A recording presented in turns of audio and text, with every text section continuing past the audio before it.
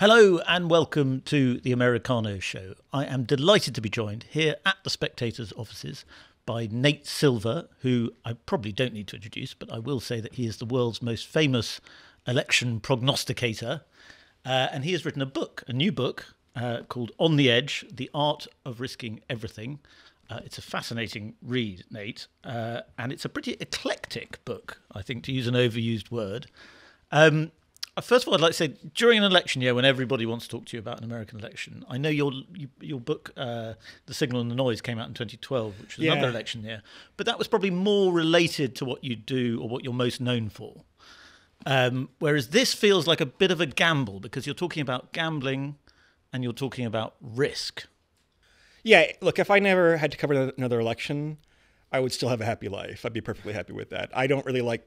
Um, the people in American politics very much, right? I, I think sometimes I'm too much in the spotlight for this stuff. Um, trying to provide like a more arm's length kind of rational voice to have a little bit of, of fun with it to help explain explain probability and things like that to people. But like, um, like you know, I am not like a politics person. I got into politics because I was playing online poker, and the U.S. Congress passed a law to basically ban online poker or ban payment processing to online poker in 2006, and that that compelled me to follow politics more. I wanted the people who passed that law to be voted out of office, which they were, by the way. Um, you know, with more time on my hands, with poker no longer a viable source of income. Um, it's 2008. I'm living in Chicago. I go to University of Chicago. Barack Obama, a very different type of politician than the George Bush, John Kerry era, is running for president. It's a big kind of moneyball, data driven era in the US. And so it kind of, yeah, it, it would seem like it was all plotted out very carefully, but it was more my my frustration with political coverage being very kind of momentum and vibes driven and not very quantitative at all and and and to my surprise it kind of was the right time to get into american politics at like 2008 onward has been a fascinating sometimes exasperating era for you know for elections in the us and and it's been fun to have a, a you know a seat on the train for it but the idea for this book was to pivot out of politics um, and instead i've gotten gotten swept back in i suppose you mentioned the book that people get very angry with you about your political prognostications, uh, less so with sports. Is this book, in some ways, an attempt to explain to people that it's the same thing? For sure. And when we say the same thing, that's true in some ways and not in others, right? Like, obviously, politics are, are much higher stakes, although the fact that sports is so popular around the world is something I think goes taken for granted sometimes. Um, but they are like both strategic games in the sense of game theory, where you have two sides trying to optimize their outcome against a smart and competitive opponent. Um, you know, they are both fields that lend themselves relatively well to data driven analysis in the sense that you have a lot of structure. Election data in the US and the UK, for that matter, is, you know, it's good data. We um, understand how elections work, we understand the rules of the system, and that makes for, you know, more um, translatable problems as far as forecasting or, or prediction go. Um, but yeah, look, in politics, especially in the US, you hear over and over this is the most important election of your lifetime. That it's very built on grievance. I think people have trouble understanding the role that like things like luck can play in politics, where if Donald Trump turns his head in a different direction, then Donald Trump may have had more than a bullet graze his ear right now. Mm. Um, in 2000, the outcome came down to essentially random ballot design choices in the state of Florida and weather patterns and things like that between Al Gore and George Bush. Um, people seem reluctant to embrace the idea that maybe their election wins aren't just by divine right, yeah. um, but are by twists of fate that are hard to foresee in advance. Well, that's, yeah. I mean, nobody can predict the future. Is is the obvious point? But yeah. uh, but I think what I'd like to start talking to you about properly is is this division you have between uh, the river and the village in the book, and this is in the bit about gambling. Um, for those who don't know, please explain to us what is the river, who are Riverians, what is the village? Who are the villagers? So I'll start kind of in the in the U.S. metaphor because the book is partly about America and what makes America weird.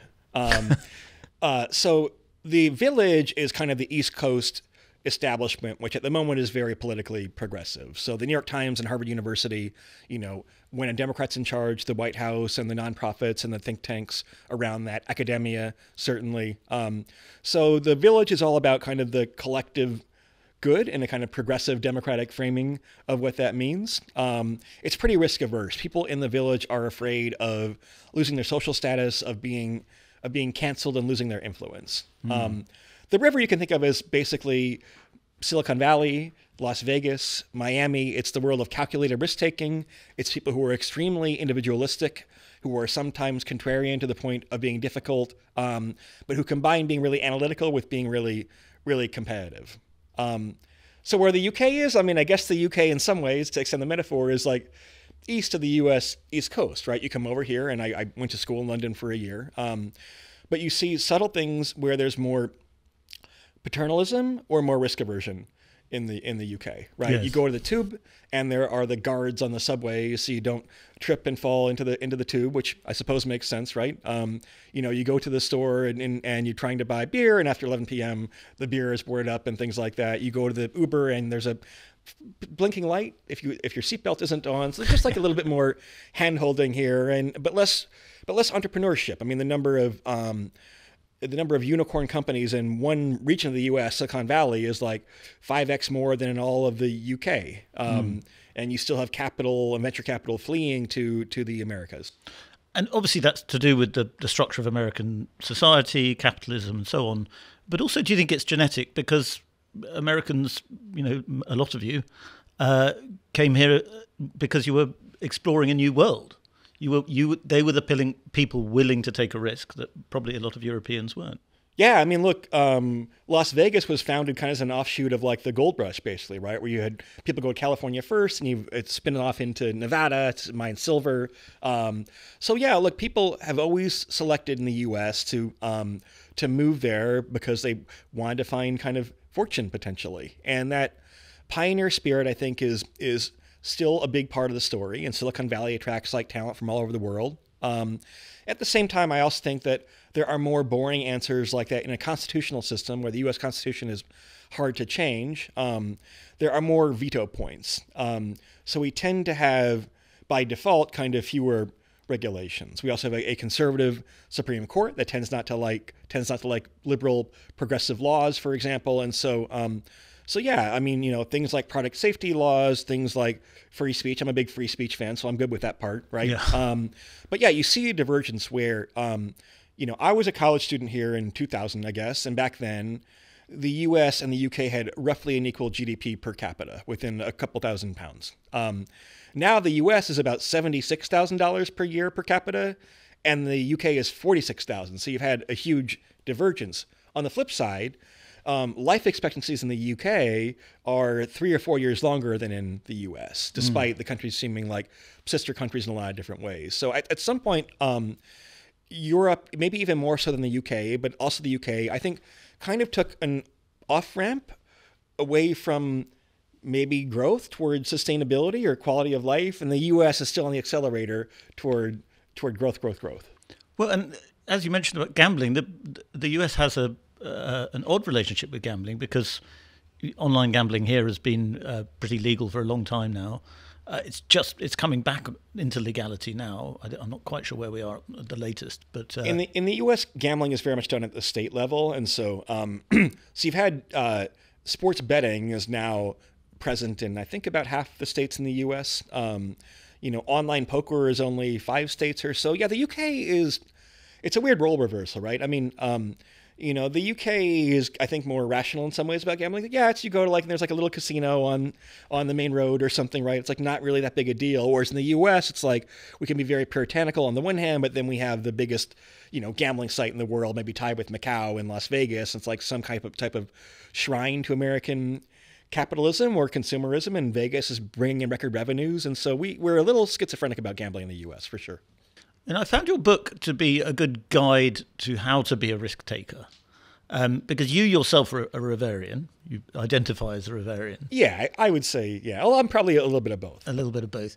Uh, but you have uh, gambled, you've been a poker player, you have bet on sports, uh, and even for a person who's very well off, uh, very large sums of money. Um, did you, do you, would you say you're low in neuroticism, which is kind of a key thing to be a successful Riverian? I think I'm pretty low neuro. I mean, so the people, it's people who have high openness to experience, um, but low neuroticism, right? I, I tend not to dwell on negative emotionality. And these things are kind of hard to find because typically, if you think of, um, in the United States, Democrats or liberals or progressives, whatever you want to call them, they're the ones who are more multicultural and more open to different uh, sexualities and genders and things like that, and more open to immigration, more open in general. But they tend to be pretty neurotic. they tend to, you know, have a lot of hangups about a lot of different things, um, have lower mental health, at least self-reported. Um, whereas conservatives are just the opposite. So if you can kind of combine like the openness to experience with the lack of neuroticism, like that's a skill set that I think is, you know, helps people to thrive in in gambling type tasks. Mm. And does it help them to understand value? Because appreciating value or expected value is a key part of being able to take risks successfully. I mean, I think in both senses of the term value. I mean, yeah, obviously, you know, what you're trying to calculate in some level is will I, on average, come out ahead if I make this this bet or take this risk? Expected value. Um, I also think, though, people in the river are often quite philosophical. Um, you know, someone like Peter Thiel is not for everybody, but he's certainly a very literate guy who knows kind of the, you know, his history of European enlightenment, enlightenment and beyond philosophy and postmodern philosophy and things like that. Um, the people who are pretty widely read for the most part, um, and who are trying to kind of understand what like the governing rules of the system are, and they're less kind of they're less ad hoc. I mean, one critique you can make of the village is that everything is so political. It's all about you know what's good for partisan purposes, then you kind of rationalize later on why it fits into your paradigm. Um, mm. And the Riverians, at their best, which they often are not, are I think more long term and strategic focused. And do you think with the tech revolution, these types of Riverians like Peter Thiel or Elon Musk or Sam Altman, uh, Sam Bankman Friedman, what you talked about, uh, Sam Bankman Fried, I should say, um, they are the sort of people who are pulling uh, not not by themselves, but their success is what's causing a lot of problems in America because because of the tech revolution, these people have had such astronomical success so quickly that the river is sort of getting further away from the village. I think so you know, the top VC firms in Silicon Valley probably make returns of about 20% per year. And because they keep reinvesting those returns, then that grows and grows and grows. Um, you know, if you invest in the S&P 500, then you make 7 or 8% per year on average. So 20% compounding means that you have an exponential increase in in wealth and power. And even if you're kind of like a somewhat unrepentant University of Chicago educated capitalist like like I am, I suppose, then then you have to worry when kind of that much power is concentrated in so few hands, where they become more powerful than than governments in a lot of ways. I mean, you kind of have Elon Musk kind of functioning as a as a quasi governmental entity in certain ways now, or like Brit Britain or excuse me Brazil is banning Twitter or attempting to, which I you know I don't approve of, but like but it's almost like he's like a state power. It's like embargoing a country in in in a war or something like that. Um, so I think we have to think carefully about that, especially with AI. AI is not the traditional startup where you have a garage somewhere in Los Altos, California, and Steve Jobs makes a new computer or something, right? This is a case where um, where the already powerful companies that have enough computing power and capital to train models for six months at a time at a very high density of, of compute um, are are coming out ahead. It's the Microsofts and the Googles that are, are gaining as a result of this. And is that why uh, the village is, necess- is so necessary? Because if AI is, as, as you mentioned in the book, uh, the, the nuclear bomb of the, the technological revolution, uh, we do need institutions of government that tend to be more village than river yeah. to to moderate it, to control it, and to actually regulate it. Yeah, look, Sam Altman, who's a smart guy, he's not Sam Bankman-Fried or something like that, right? But he'll say that, like, actually, oh, this technology could um, potentially destroy civilization if it's misaligned in the wrong way. If we develop things that are smarter than people and very capable than people, and they don't like people very much, then um, then that could be not very good for the human race, right? And he'll say that, I guess, to his credit for being honest. But like, but I'm not sure that like any private enterprise should have the power to like um, to you know press a button and run some non-zero risk of like destroying civilization with the next model training run. And again, mm. I'm someone who most of the time, 95% of the time is like, yeah, I think these regulations probably do, you know, are not doing that good necessarily. But this is a case where I think, um, where we should have a broad consensus that like, that, you know, having smarter regulation is helpful. But smart is also the key. Um, you know, it's a little bit of a kind of prisoner's dilemma where, um, you know, if we overly regulate AI, then China might develop it or some other country might develop it. Um, mm. You know, or you might have people who develop it in the gray market. Um, you know, you have Elon Musk, for example, with his Grok engine on Twitter, is is you know making pictures of naughty stuff that like um, ChatGPT or or whatever won't do, but like so you the, you know there are to use again the nuclear metaphor, there are some potential arms race type dynamics. And the uh, relationship that seems to be developing between a lot of, not a lot, but a few very important tech entrepreneurs and Donald Trump um, suggests that there is a, a rejection of the democratic village uh, now, and you are seeing uh, almost a hatred of it in a lot of these tech circles. Yeah. Does that tie into what you're writing about in the book? Yeah, look, I think if you took a survey of everybody in the river, you would still get more Democrats and Republicans, or at least more Harris voters and Trump voters, um, because like they tend to be pretty educated people, and in the U.S. we've had this big educational divide where the educated classes tend to vote Democratic in the U.S. Um, but absolutely, you've seen at the tip of the spear people like Elon Musk, Peter Thiel, um, um, you know, Bill Ackman as a hedge fund manager against the presidents of MIT and Stanford, or not Stanford, MIT and Harvard and Penn. Um, you see more open conflict, and I think it's partly personality clash. They see uh, they see the village as being very collectivist and risk averse, and they're very risk on and individualist. Um, it's partly kind of narrow economic self interest, where um, you know if you read the reporting on Elon Musk before some of the culture war stuff, he was just mad that the Biden administration did not invite Tesla to various EV initiatives because they were not unionized. Um, and he was mad about Lina Khan regulation at the FTC, and he and they're mad about you know high taxation in California and other places, and the kind of demonization in the liberal media of of billionaires. You know, I don't know why they're so worried. They're billionaires. You can. It's okay to be not be sympathetic if you're a billionaire. Um, and then I think they kind of like find the culture wars stuff later on. It's like I think I think if you are someone who um, who you you know you you kind of feel like oh I have to be a good progressive Democrat, right? And then you kind of start you know you start getting pilled a little bit and you feel kind of naughty, right? Now you're allowed to like say all those things. I think the kind of COVID era, or if you want to call it the COVID slash kind of wokeness era in the U.S., I think a lot of you know, particularly middle aged and older men, I'm probably susceptible to this myself, right? Um, felt like you weren't allowed to say certain things for a few years, and kind of once things change, there's a regime change, then you may overcompensate in the other direction for a period of time. I suppose someone like uh, the comedian and TV presenter Bill Maher would be a good example of somebody who has sort of become increasingly closer to the Trump worldview.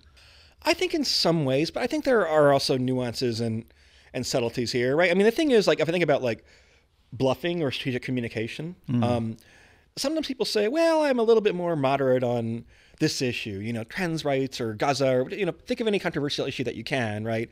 And sometimes it's a way to signal that, like, um, that like, oh, actually, I'm conservative. I'm just kind of like saying this as a as a dog whistle or a hint, but like, you know, I'm somebody who, on like, you know, a lot of these key issues. You know, if you ask me, what's your stance on on you know the war in Gaza, right? I'll say like I don't know. I feel really sympathetic for both the Israeli and the Palestinian people, and I, I'm I'm kind of torn, right? It's like not like a dog whistle or anything else, just like actually how I happen to feel. And I think you know there are people who are true moderates or or uncertain or just say I don't know. It's kind of above my pay grade on some issues, um, and they're the ones that you often like don't hear from very much. And do they make predicting elections? Are they the hardest thing to predict because they tend to be perhaps a bit more contrarian? Yeah, a little un- bit. I mean, you worry uh, about less tribal. you worry about the voters that you don't hear from. Um, you know, on the one hand, obviously any party would rather have more enthusiastic voters than less. On the other hand, sometimes that enthusiasm translates into being more willing to take a poll. Um, so you get sampling error that um, that you reach the enthusiastic people, you don't reach the unenthusiastic people, but the unenthusiastic people still still wind up voting potentially. There's a lot of the book is about Bitcoin. Um, are you a believer in Bitcoin? Um, I think the blockchain is an interesting technology. It's one of the more interesting technologies of of the decade, I suppose. I, I don't think right now the applications of it are are tremendously world altering necessarily. I mean, you know, right now it serves various functions. I mean, like, you know, the technology of NFTs is a pretty cool technology to provide di- digital ownership of, of digital assets and proof of um, the chain of custody and things like that. It's like, you know, and, but like most technologies, it takes like 50 years to figure out kind of what the long term applications are. Look, I think Bitcoin is partly partly an ideological movement. Um, the idea that um, after the financial crisis that we are worried about governments printing money and we're worried about fiat currency. And to fully realize it would be quite a radical idea, right? To have a financial system that's decentralized and based on um, trust on the blockchain instead of by government fiat. I mean, that's you know, that's a very radical idea if that were ever to come to fruition. Right now, it's mostly used as a form of, of gambling, I'd say, though. It is gambling, isn't it? It's it's. Uh, I mean, the idea of its value is not properly understood, even perhaps by the people who most believe in it. To some extent, it's trying to predict social behavior among kind of people in your in your social class, right? It's trying to figure out what's the timing of like surges and busts. Um, you know, the game theory dynamics are actually are actually quite interesting. Where even I mean, even if you set aside like Bitcoin for now, something like the bubbles that we see in like GameStop or AMC stock, for example, where it's like coordinate coordinated efforts to like undermine all these hedge funds and and you know I'm not sure if you even say manipulate prices, but like to squeeze short sellers. It's like quite fascinating dynamics that are a product of like the the internet age and meme culture and the way that you know these are mostly younger people and younger men in particular the way they tend to like scheme and bond together. So that part of uh, that part of it I think is like quite interesting and it thrives on distrust. All those things thrive on distrust. With with the meme stocks, it was defri- distrust of the financial system. With Bitcoin, it's this idea that central banks have too much power. Is For that, sure. Is that the prisoner's dilemma at work? Well, the prisoner's dilemma occurs when there's when there's a lack of trust. Um, so, ironically, you know, if you have people, if you have different traders, there are relatively few bigwigs, for example, in a in a stock like AMC or, or GameStop. Um, you know, if they can coordinate and say we're not going to sell until next week, um, then you can actually squeeze, get a short squeeze, and you can actually have that be profitable. Um, so that requires like local trust and global distrust, I think. Um, and maybe we kind of trust our local communities now that we self-select a little bit more and, and to in online spaces you can kind of pick and choose who your friends are and you may have a tremendous amount of like loyalty to them but um, but distrust of kind of the sovereign, right? Distrust of like, you know, all the institutions in the US, I suppose in the UK, I don't know the data as well, but, you know, uh, government and academia and media and mm. the church, everything but the, um, but the military, we've seen decline in trust in the US.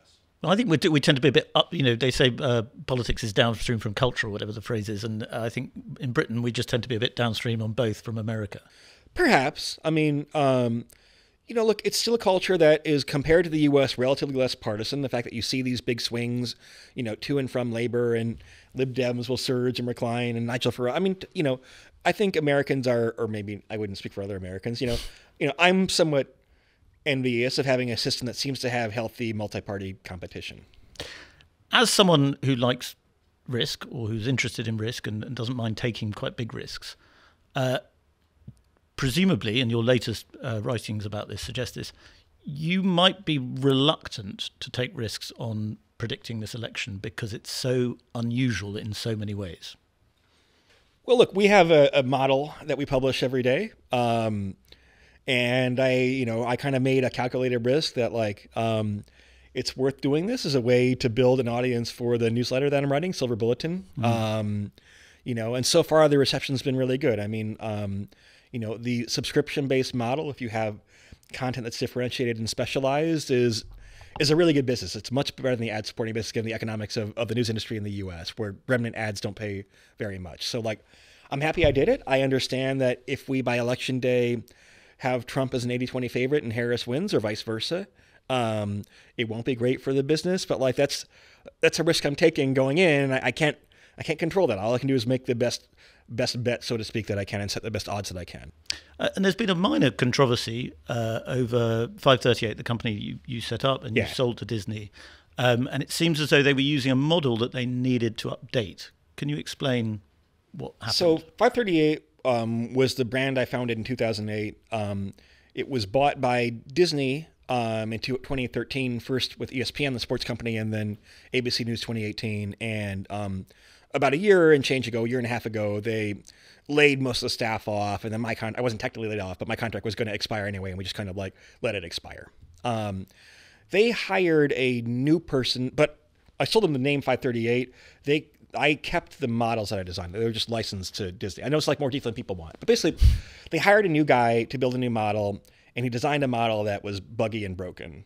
they can try to be euphemistic about it and say, "Oh, there were just assumptions that were wrong. No, this model was broken and should not have been published." Mm. Um, and they were cagey about replacing it. I mean, apparently the staff at 538. I still dearly love like the people that not the new guy, but the people who were there originally. Yeah. Um, they're really hardworking and, and good journalists. Um, but yeah, and they and they kind of changed the model when Biden replaced Harris, but they took a month before they published it, and then tried to um, tried to kind of mm, obfuscate the fact that it had been radically transformed and radically changed, and so this is kind of against the values of of data journalism, as I used to call it, or, or journalism in general. Uh, these models are hard to build.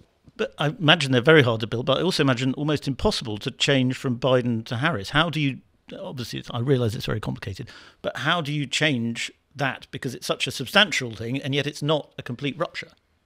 It's actually pretty easy, right? I cha- You basically change one cell in a spreadsheet and say, you know, candidate number 42, which is Kamala Harris, instead of candidate number 26, which is, which is Joe Biden. And then it kind of feeds in all the all the Biden or the Harris Trump polling data instead of Biden Trump. Now, we did wait for about a week until she became the de facto, not the official yet, but the de facto Democratic nominee. So Biden dropped out, and I forget which day it was, right? A day later, she secured de facto the nomination. And so a week after that, we turned back on the model. Um, maybe a bit prematurely. She was still rising in the polls at that point. Um, but look, I mean, the challenge is more that we're almost having like we're almost having like a snap election. You know, you guys are used to that. We're not used to like a snap election in yeah. the U.S. And so you can argue that the assumptions that are embedded in the model about like this two-year-long election process that we have don't apply as much, and there's probably more like intrinsic uncertainty. Yeah. Um, and you have other crazy stuff. You have this assassination attempt against the former president, right? You have RFK Jr. entering and exiting the race. Um, you have this catastrophic debate for Joe Biden. So it's been an incredibly strange set of news cycles. The model's doing the best it can. I mean, ironically, it kind of defaults towards saying basically 50 50. Um, you know, after the debate, which is in a week, um, maybe the, the first, maybe the only debate, that's where you might actually have more confidence in saying, oh, we actually um, can lean toward one direction or another. Which direction I wouldn't want to guess right now. And I mean, usually the pompous thing to say about uh, presidential debates is that there may be a crucial moment, but if there yeah. not it's not going to make much difference. But I think because of the circumstances of this election, is it fair to say this election, this debate will be much more de- decisive? Yeah, look, you're compressing two years of campaign into five months, basically. So if you want to look at it heuristically, maybe everything is like four times more important. Um, but also, I think Harris. Um, you know, has had kind of a a glide path in August where she, I think, did a very good job winning the nomination. I think gave a very good speech at the convention. Um, but it's had, for the most part, like pretty friendly media coverage. Now you see more scrutiny about her relative lack of doing like candid interviews in the press, for example, in the U.S. Um, but none of that matters except as much as the debates, right? Um, where I mean, that first debate people anyone who says the debates don't matter like okay you just had one of the most pivotal moments in american political history happen what was it just you know eight weeks ago or six weeks ago or whatever yeah. Um, yeah. and the fact that like you know um, probably both harris and trump think they're going to win that debate potentially um, I, I, think they both can't kind of live down the expectations entirely um, and well no i mean it's it's going to be it might be the most important remaining day of the election yeah. Uh, another thing that people often say don't really matter that much is vice presidential nominees. Um, again, in this election, would you say they matter more? I think they matter more because people are very reminded of the fact that um, Joe Biden just literally was replaced by his vice president in the middle of the campaign. And um, if Donald Trump looks the wrong way or the guy, you know, is able to get another shot, you never know what happens in, in, in this year. Um, mm. So there's heightened scrutiny, as I think there should be. I mean, if you're if you become vice president or even named on a ticket, your odds of becoming president at some point, even though the VP job itself is kind of ceremonial, um, go way, way, way, way, way up, right? Um, so people should pay attention. Um, look, I think um, JD Vance is probably not a very smart pick. I mean, JD Vance was a pick that Trump made at a time after he had um, just had the assassination attempt, right? And it was still Joe Biden, and he was really struggling with like Nancy Pelosi and other Democrats, and you know, by the reporting, they kind of thought they had the race in the bag. So they're like, hey, why not? Let's pick JD Vance. He'll extend our kind of MAGA timeline. He'll kind of troll the Democrats mm. a little bit. He's a smart guy. You know, the kind of Silicon Valley Riverians will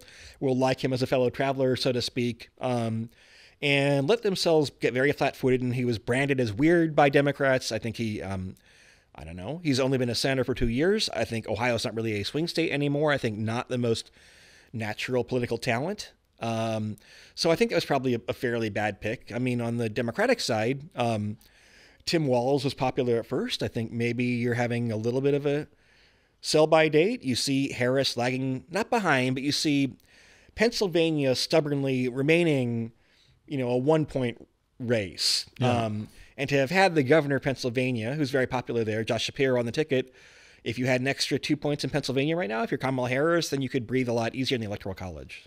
Would it be simplistic to say Walz is a village pick, Vance is a Riverian pick? I think like Walz was the consensus pick of the Democratic Party for sure, right? Nancy Pelosi, who has political instincts that are pretty good most of the time, you know, wanted Tim Walz. John Fetterman wanted Tim Walz. Bernie Sanders wanted him. Um, you know, I think Shapiro is seen as a guy who has like a little bit more ego. It's it's always been hard for presidential candidates to pick VPs that that overshadow them, right? Mm. Um, you know, Obama. Well, although Obama wasn't at too much risk of being overshadowed, I suppose, but they tend to be pretty bland. I think Sarah um, Palin would be an obvious. Sarah Palin, okay, would be the exception, right? Possibly, yeah. Uh, but that didn't go very well for John McCain. exactly. So yeah, she's probably doesn't help the Riverian case for high risk VP picks. Uh, and given that we know that luck is an important factor in, in these things, and people talk about October surprises uh, in deciding elections, how often would you say October surprises have decided elections, and that presumably is all down to luck? Yeah, if you have some, you know, some oil tanker boycott in the Gulf War or things like that, right? Even things like what the weather forecast is and election day in different parts of Pennsylvania can potentially affect things. I mean, in an ordinary campaign, then I'd be saying, oh, things actually get locked in a little bit earlier. You know, so for example, part of it's because of early voting. Voting's actually starting today in, in North Carolina, for example. So there are votes being cast. I don't know quite what time it is in the U.S. I'm on jet lag still, but like there probably there have at this moment been votes cast now in the election. Um, but again, with this kind of quasi snap election compressed time frame, then obviously October is potentially magnified. Nate Silver, thank you very much for coming on to the Americano podcast. I do hope we'll get you on again. Of course. Thank you so much.